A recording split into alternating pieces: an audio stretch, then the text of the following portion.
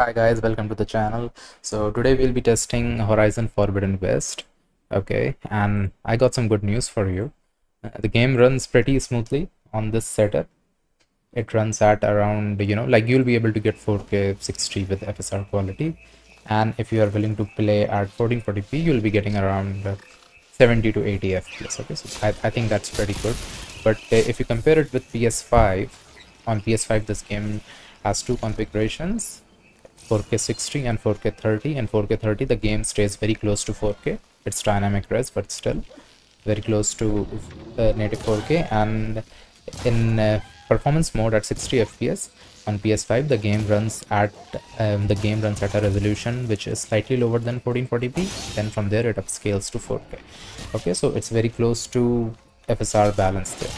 So you can say that PS5 runs this game at 4K FSR balanced 60 or 4K FSR quality 30 okay so on this PC we have 4K FSR quality 60 so you can say at the same settings we are at uh, we are around 30 FPS faster than the PS5 which is pretty good though I think this PC is capable of more because a PS5 is essentially a RTX 2070 Super and our GPU is more of a 3080 3080 Ti somewhere there somewhere in between. So yeah RPC is actually faster than a PS5 by 50 FPS I think. And here we are getting a gain of only 30 35 FPS over PS5 so that is that. But I believe it's in pretty good shape. It's better than most of the games at launch these days. Script triggers are very good in this game. In fact the whole of haptic feedback setup is very well done here you know when you when you'll hold uh, the controller and when you'll walk on different surfaces or when you'll do different things like attacking monsters or you know releasing a bow or let us say throwing a grenade throwing a bomb using a slingshot. You'll you'll feel those little things you'll feel those little differences. So that's very that's very good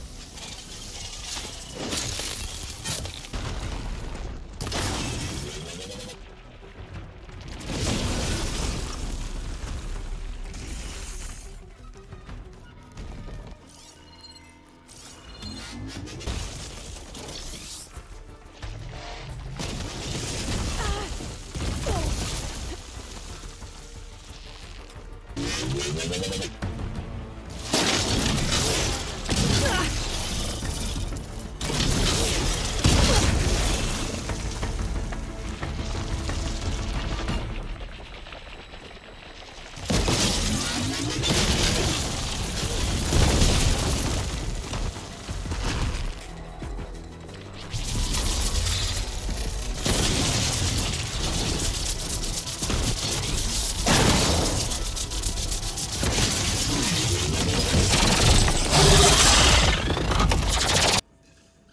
Also do tell me guys if you want to see more uh, if you want to see dragon's dogma 2 on this channel. Currently i'm not testing that game because it's in pretty bad shape okay and it's getting a lot of negative reviews on steam because of some microtransaction bs which capcom has done.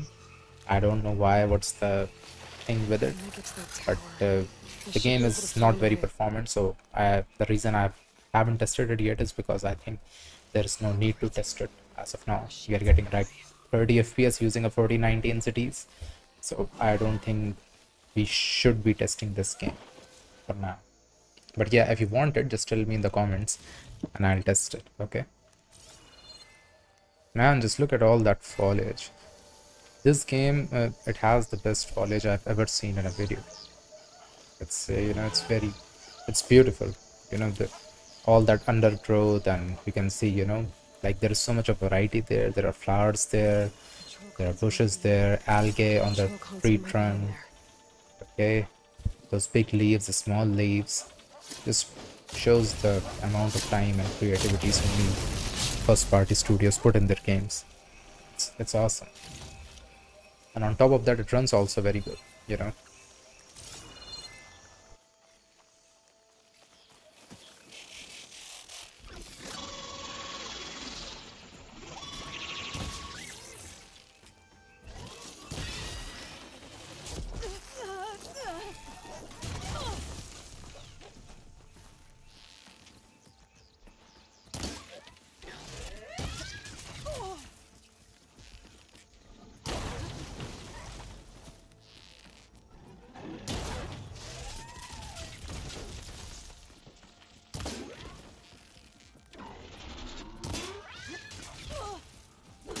they have improved these uh, little sounds which you get when you hit enemies when you strike them.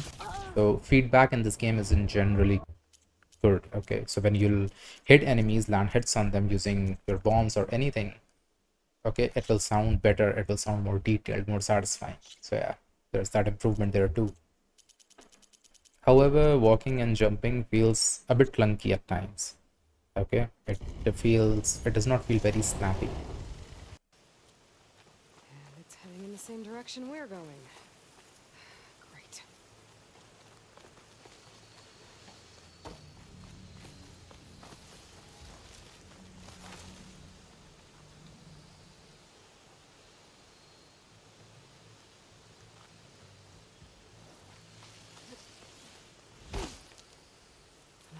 Machines. I could try to find a weapon on it.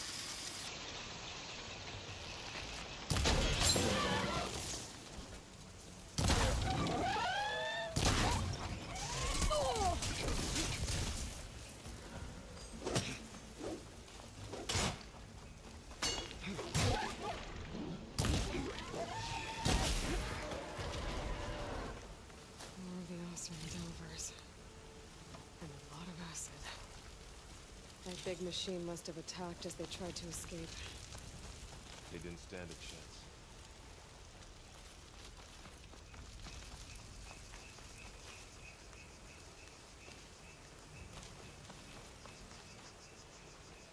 So, you said this backup is the last hope. You can see that in most of my recordings I test 4K FSR quality the most, followed by 4K native, followed by 1440 and 1080p okay? So the reason i don't test 1440p and 1080p a lot on the setup is because the setup is not made for those two resolutions okay? So the thing is at what resolution and at what frame rate you want to play that is best decided by the combination of both cpu and gpu not just your gpu okay? So this gpu is strong but the cpu is good enough only for let us say 60 or 80 fps stops okay? Now the thing is I have also underclocked the CPU a bit because it was having temperature and heating issues.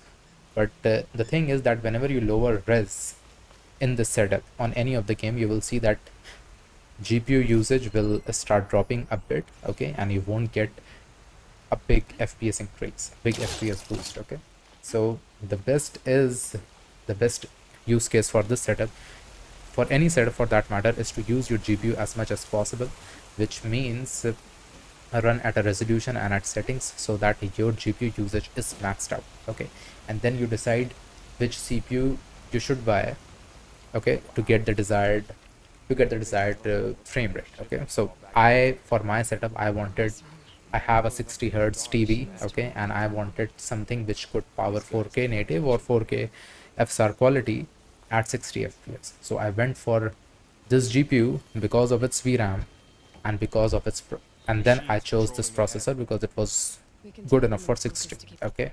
But let us say if you want a 1440p 60 hertz setup then 6700 xt would be sufficient okay? Not this gpu this is an overkill for 1440p okay? Similarly similarly if you want more fps okay? Let us say you are looking for 1440p 120 then you should this GPU is fine for that but you should not be going for this CPU then. Then you should try to go for an AM5 system okay? So this is one of the main reasons why 1440p and 1080p settings uh, in my videos they don't get a lot of coverage because I don't think this setup is made for those settings at all. It is best made for 4k FSR quality 60 FPS only. That is its use case okay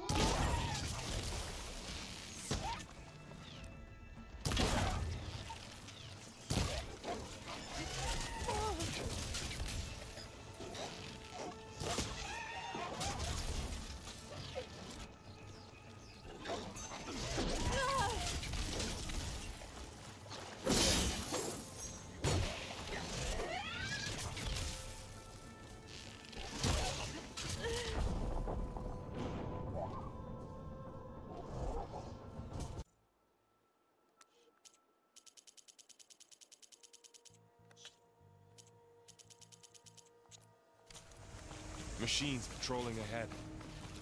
We can tag them in the focus to keep track of them.